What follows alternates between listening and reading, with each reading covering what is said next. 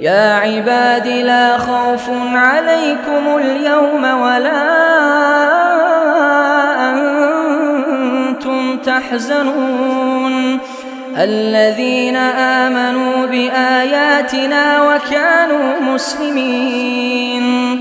ادخلوا الجنة أنتم وأزواجكم تحبرون.